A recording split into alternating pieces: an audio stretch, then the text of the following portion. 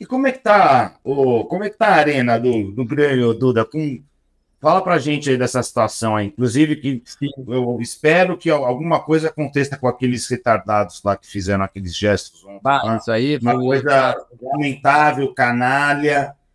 Tem que acontecer alguma coisa, porque não, não dá para viver num país em que essas pessoas fazem o que fazem e não acontece nada, sabe? É muito triste. Ah, o meu, essa aí, vou te dizer que eu vou dormir com o estômago embrulhado, velho, porque eu não tinha pego o celular durante o jogo, né? É, tava prestando atenção no jogo e aí eu abri o Instagram, cara, e um amigo meu que fez aquelas imagens ali, o, o FBI, o, o Jeff.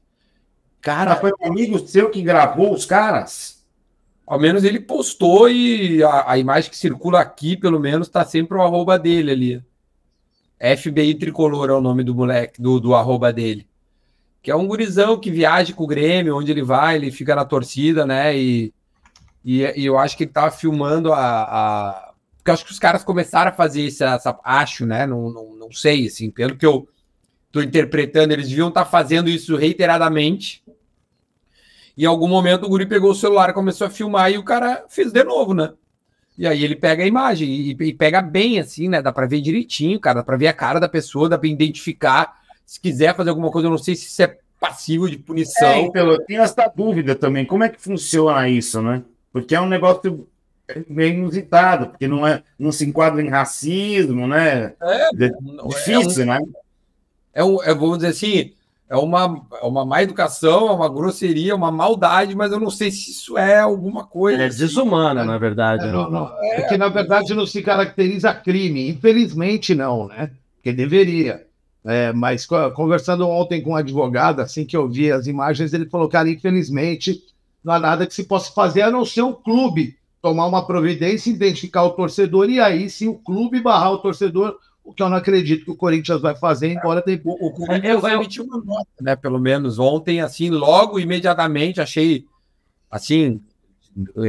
Acho que era o mínimo que o Corinthians tinha que ter feito, porque, é. cara, não é. E tem, e tem duas é... coisas nesse caso, que a primeira é que, assim, acho que a gente tem que tomar até um certo cuidado para falar assim, ah, o corintiano é assim, foram recortes ali da torcida, a gente tem que não, saber... 45 mil pessoas estavam lá. Não, então, é exato. Não, três, tem mais um ali, porque o próprio Jeff, eu vi aqui o perfil, tem mais um vídeo que eu não tinha visto ainda. Aqui, ah, é, é verdade, eu vi esse vídeo depois. É um cara só assim. Mas, mas o Corinthians precisa mesmo fazer alguma coisa, porque no outro jogo que teve aqui, já teve um rapaz brincando com um copo d'água assim também.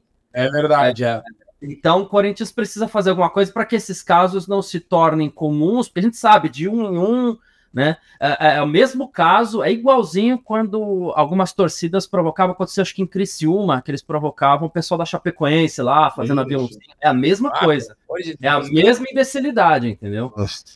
Então, cara, mas assim, aí eu, eu, eu fiquei com, com o estômago embrulhado, achei, cara, muito forte lá, porque quem não tá aqui não tem ideia, e também não quero, assim, me vitimizar, assim, mas, assim, vocês não têm ideia do que a gente passou e está passando, assim, é um negócio inimaginável, assim, para o estado do aqui, ele é o Covid, assim, em termos de, de destruição é, imediata, sabe? É, é, muito forte que está acontecendo. Ainda tem cidades que estão devastadas, assim.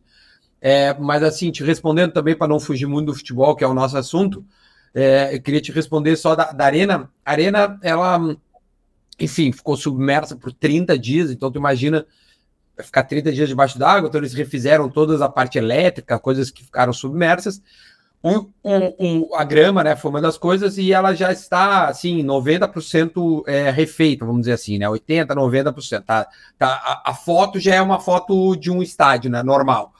É, ainda tem alguns detalhes, por exemplo, a parte elétrica, então, hoje eles dizem que a possibilidade de reinaugurar é no dia 17 contra o Bahia.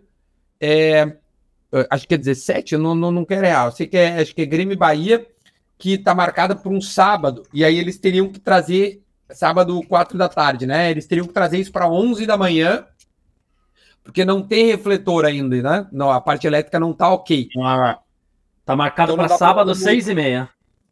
É, então eles teriam que trazer para as 11 da manhã, porque o Grêmio joga na terça com o Fluminense. Então, tipo assim, teria que ser. Não, né? Geralmente é domingo às 11, mas não dá para jogar domingo. porque é muito.